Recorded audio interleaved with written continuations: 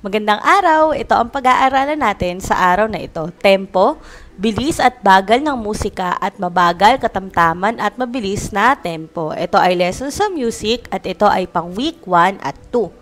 Siyempre, huwag mong kalimutang pindutin ang subscribe button para maging updated ka sa videos ko. Ang layunin natin ay naisasagawa ang iba't ibang tempo sa pamamagitan ng kilos ng katawan. Ngayon ay mayroon ako ditong halimbawa ng mga hayop at tutukuyin natin kung ano ba ang kanilang kilos, mabagal ba o mabilis. Unang bilang, ibon, mabagal ba o mabilis? Tama, ang ibon ay mabilis, lalo na pag ito ay lumilipad. Pangalawa, pagong, mabagal o mabilis? Mahusay. Ito ay mabagal. Pangatlo, kuneho, mabagal o mabilis? Tama, ito ay mabilis. Pang-apat, pag ang aso ay tumatakbo, mabagal o mabilis? Magaling. Ito ay mabilis. At ang panghuli, ang panglima, cheetah, mabagal o mabilis? Tama, ito ay mabilis. Ang musika ay maaaring mabagal, katamtaman o mabilis. Ang bilis o bagal sa musika ay tinatawag na tempo. Ito ay mahalagang elemento ng musika. Nakarinig ka na ba ng musika na mabagal?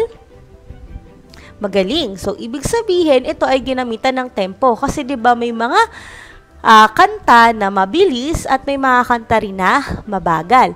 Katulad na lang na kung ako ay ma- kung ikaw ay masaya, tumawa ka, 'di ba? Ang tempo nun ay mabilis.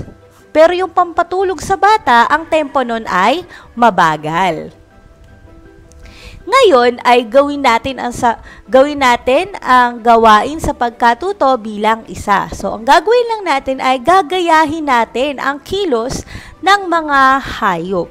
So sa una ang ibon dumipa na parang lumilipad. So gagayahin mo lang yung paglipad ng ibon. Pangalawa ay ang uh, tigre, mabilis na tumatakbo. Sunod ay ang aso, lumuso, lumulukso o kaya tumatalon. At ang pagong naman, gumagapang. Pero syempre, bago ka gumapang, ay siguraduhin mo munang malinis ang iyong gagapangan. At ang panglima ay ang koneho, lumukso-lukso.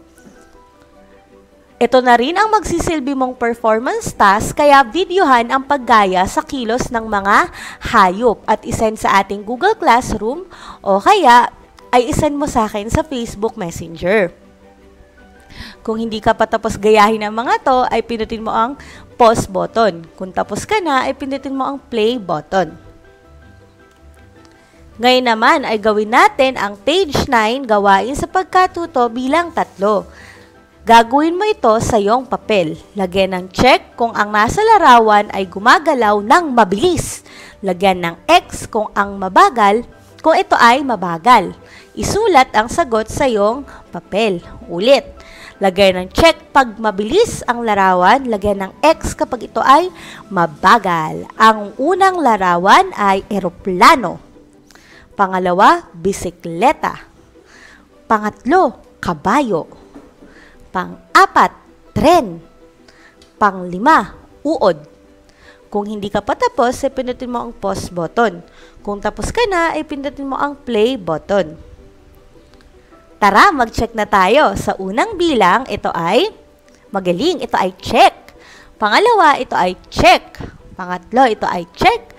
Pang-apat, ito ay check. At panglima, ito ay X. Kung nakuha mo ang lima ng tama, magaling. At dyan na nagtatapos ang ating pag-aaral. Paalam!